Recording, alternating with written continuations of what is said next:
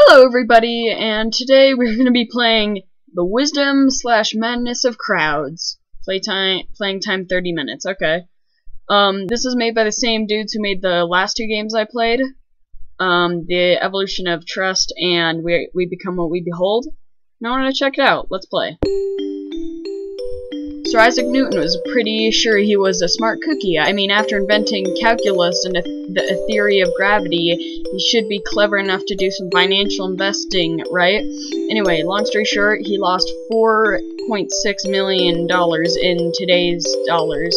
The nationwide speculation frenzy known as the South Sea Bubble of 1720. As Mr. Newton later said, I can calculate the motion of heavenly bodies, but not the madness of people. Yeah, sucks for him. Of course, that's not the only time markets, institutions, or entire democracies went haywire. The madness of crowds, and yet, just when you lose hope in humanity, you see citizens coordinating to rescue each other in hurricanes, communicating, communi communities creating solutions to problems, people fighting for a better world, the wisdom of crowds. But why do some crowds turn into mad turn to madness or wisdom? No theory can explain everything, but I think a few fields of field of a new field of stud of study, network science can guide us, and its core idea is this to understand crowds we should look not at the individual people, but at their connections.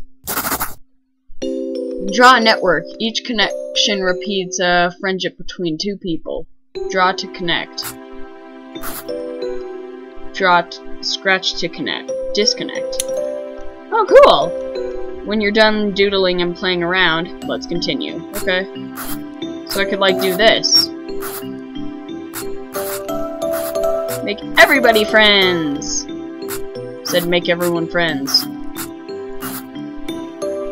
Oh gosh, that looks like a pentagram. Anyway, let's continue. Now, social connections are for more than just making pretty pictures. People look to their social connections to understand their world. For example, people look to their peers to find out what percent of their friends, not counting themselves, are, say, binge drinkers. Draw slash erase connections to see what happens. Okay, so I'm pretty sure... So I was playing this to see if the recording went well, and, uh, I think the percentage means what percent of their friends are, say, the binge drinkers, or what percent. So, now 100% of your friends are binge drinkers, now 100% of your friends are binge drinkers. If I do that, and do this... Oh. So do that. Okay, so cool. Cool, got it. However, networks can fool people, just like how the Earth seems flat because we're on it. People may get wrong ideas about society because they're in it. A quick response to James Surowiecki's The Wisdom of Crowds. Optional extra bonus notes, links, and references. Okay. For example, a 1991 study showed that virtually all college students reported that their friends drank more than they did. But that seems impossible. How can that be? Well, you're about to invent the answer yourself by drawing a network. It's time to fool everyone. Puzzle time. Fool everyone into thinking the majority of their friends' 50% threshold are binge drinkers, even though binge drinkers are outnumbered 2 to 1. Okay. So everyone. So 50% or more percent. Okay, so now 100% of your friends, 100% of your friends, 100% of your friends, Boom. Boom. Actually, I won't do it with you. Boom. Boom. Boom. Six people.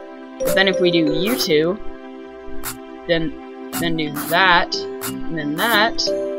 Oh. Huh? Oh, I got it. Yay!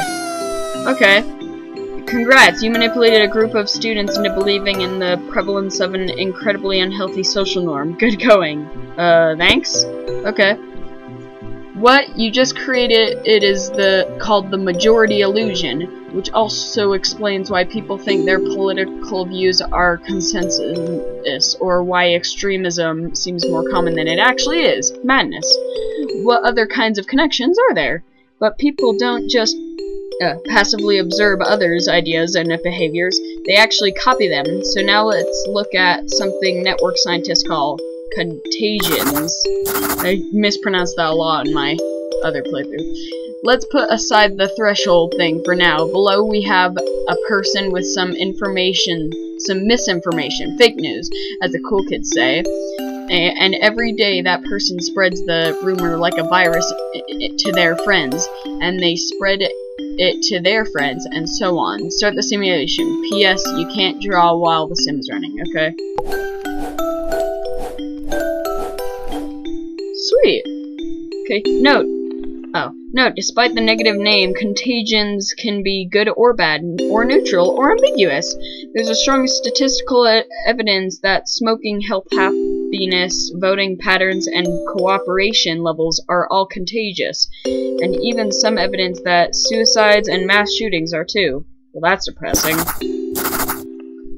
Indeed it is anyway. Puzzle time! Draw a network and run the simulation so that everyone gets infected with the contagion. New rule, you can't cut the thick connections. Okay. Do that.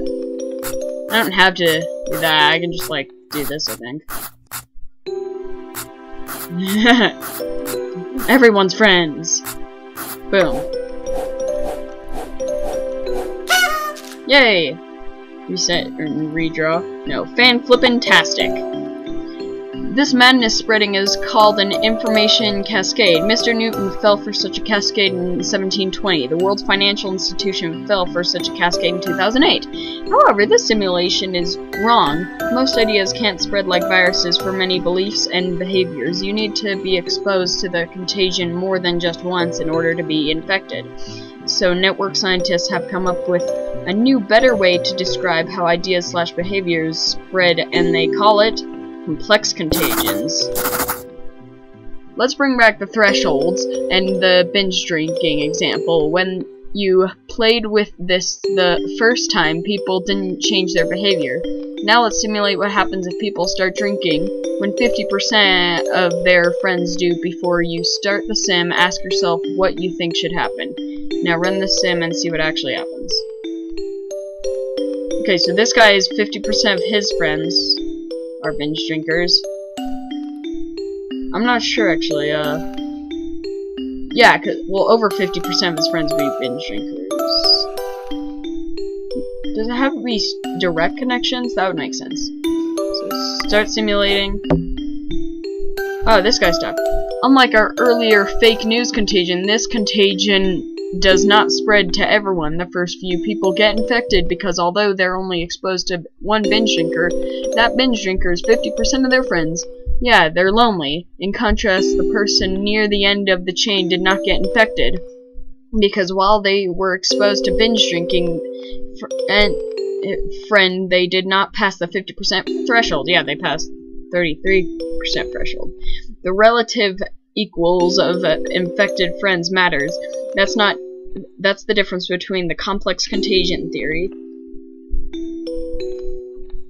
My headphone broke. Okay, there we go, I fixed it. difference between complex contagion theory and our naive it spreads like a virus simple contagion theory. You could say simple contagions are just contagions with a, a more than 0% infection threshold. However, contagions are nece aren't necessarily bad, so enough about crowd madness. What about crowd wisdom? Hold on, I want to try to get everyone, now that I understand this. So, if I do that, that's 50%. And then if I do that, oh crap, that's 30%. If I do that, uh-oh. That should do it. What if I did that as well? Yeah, okay. And then... Boom! Okay, start simulation. I did it! Sweet! Okay, crowd wisdom. Here we have a person who volunteers to, I don't know, rescue people in hurricanes or tutor underprivileged kids in their local community or something cool like that. Point is, it's good, complex contagion. This time, though, let's say the threshold is only 25%. People are willing to volunteer, but only if 25% or more of their friends are do so. Oh, too. Hey, Goodwill needs a bit of social encouragement. Get everyone infected with the good vibes. Oh, okay. Cut! 100%. Do that, then boom, then boom. Yay! No, volunteering is just one of the many complex contagions. Others include voter turnout, lifestyle habits, challenging your beliefs, taking time to understand an issue deeply, anything that needs more than one exposure. Complex contagions aren't necessarily wise, but being wise is a complex contagion. So what? It's a real-life simple contagion, usually bits of trivia like the possum um, has 13 nipple. What? what other kinds of contagions are there? now to really show the power and weirdness of complex contagions, let's revisit an earlier puzzle. Okay. Remember, this this this time with a complex contagion, it will be a bit tougher. Try to infect everyone with complex wisdom. Start simulation. Feel free to feel free to just hit start and try as many simulations as you want. Okay.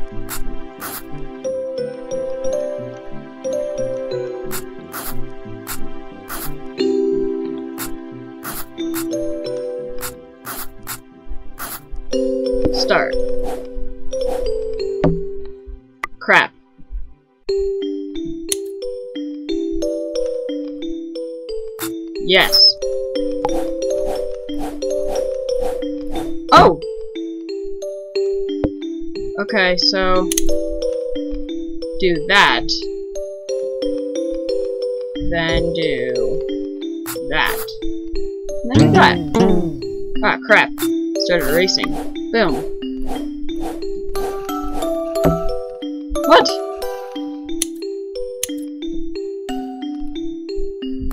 Oh, two. Yay! Hot dang! Now you may think that you just need to keep adding connections to spread any contagion, complex or simple, good or bad, wise or mad. But is that really so? Well, let's revisit another earlier puzzle. If you hit start below the complex contagion, we'll just spread it to everyone. No surprise there, but now let's do the opposite of everything we've done before. Draw a network to prevent the contagion from spreading to everywhere. Okay.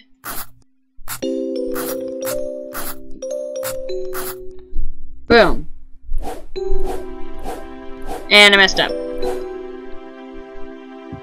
Uh, if I make everyone friends with each other, then they won't, there won't be, like, the right amount of people.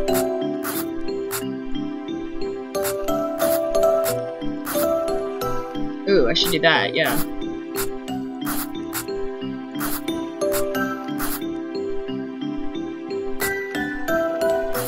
Oh, boom!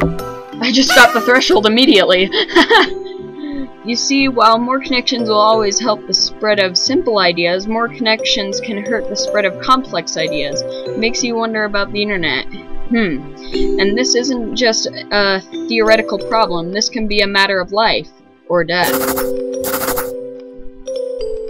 the, the people at NASA were smart cookies. I mean, they used Newton's theory to get us to the moon. Anyway, long story short, in 1986, despite warnings from the engineer, they launched the Challenger, which blew up and killed seven people. The immediate cause, it was too cold that morning.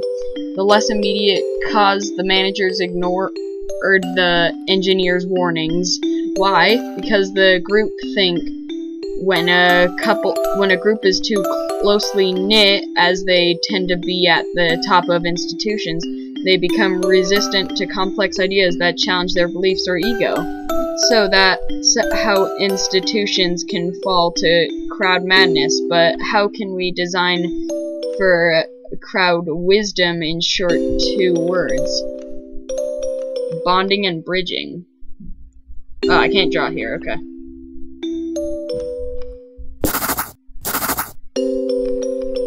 too few connections and any ideas can't spread and any I and an idea can't spread. Too many connections and you get groupthink.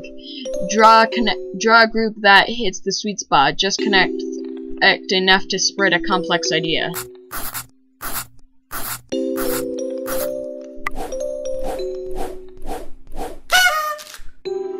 Oh, redraw. Can I? Boom.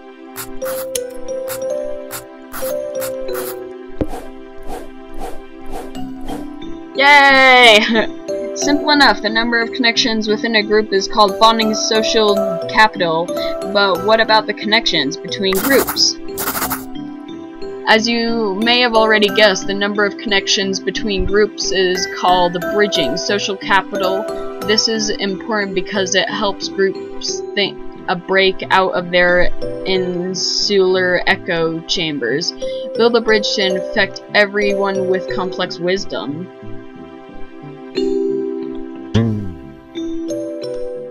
Okay, so what?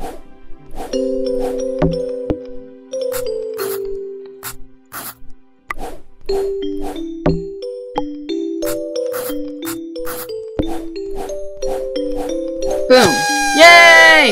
Like bonding, there's a sweet spot for bridging, too. Extra challenge, try drawing a bridge so thick that the complex contagion can't pass through it. it. Now that we know how to design connections within the between groups, let's do both at the same time. Wait, what? Try drawing a bridge so thick that the complex contagion can't pass through it?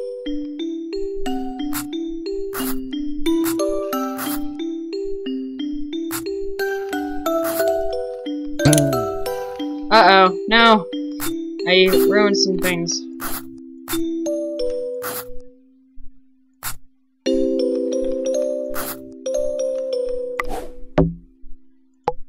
Oh. Nope, don't do that.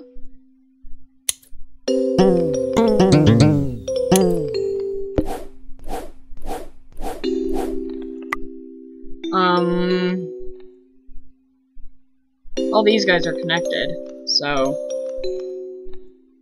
Whatever. Do both at the same time. Final puzzle. Draw connections within groups, bonding and between groups bridging to spread wisdom to the whole crowd. Within group bonding and between groups bridging. Okay.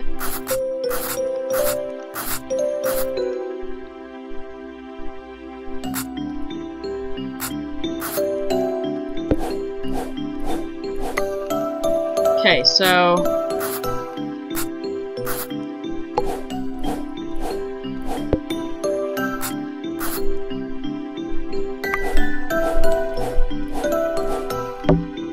Okay, so do this.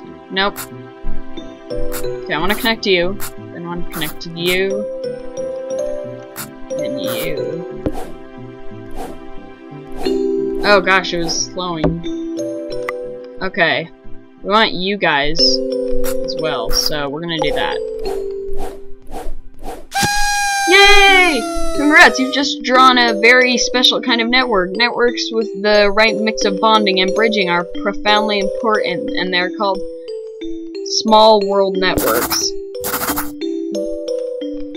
Okay. Unity without informity, diversity without division, e pluribus unum out of many, one, no matter how it's phrased, people across time and cultures often arrive at the same piece of wisdom. A healthy society needs a sweet spot of bonds within groups and the bridges between groups that is not this because ideas can't spread. Yeah? Nor this, because you'll get groupthink. But this. Oh. Cool. Network scientists now have a mathematical definition for this ancient wisdom, the small world network. This optimal mix of bonding bridges describes how our neurons are connected, fosters collective creativity, and problem solving, and even once helped US President John F. Kennedy barely avoided nuclear war. So yeah, small worlds are a big deal. Okay, let's wrap this up. no conclusion, it's all about... No conclusion, it's all about contagions and connections. Wait, can I draw? I can, okay. Contagions like how neurons pass signals in a brain, people pass beliefs and behaviors in a society. Not only do we influence our friends, we also influence our friends' friends, and even our friends' friends' friends. be the change you want to be the change you want to see in the world, etc., etc. But like neurons, it's not just signals that matter, it's also connections. Too few connections, and complex ideas can't spread too many connections, and complex ideas get crushed by groupthink. The trick is to build a small world network, the optimal mix of bonding and bridging, uh, a pluribus unum. Want to make your own solution? Check out sandbox mode by clicking the star button below. Okay. So what about the question from the very beginning? Why do some crowds turn to wisdom or madness? Inner madness.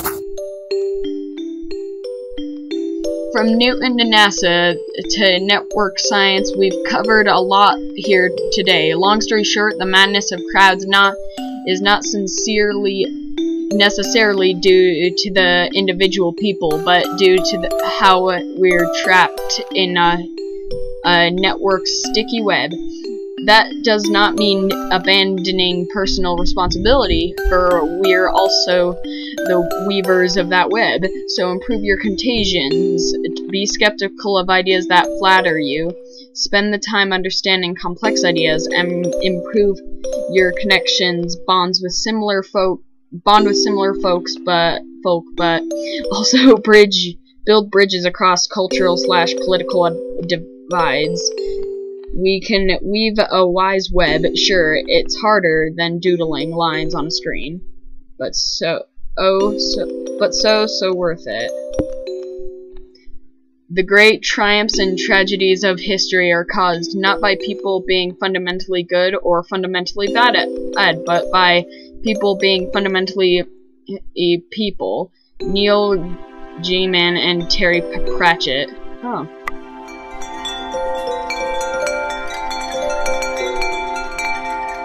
Cool! Oh, sweet!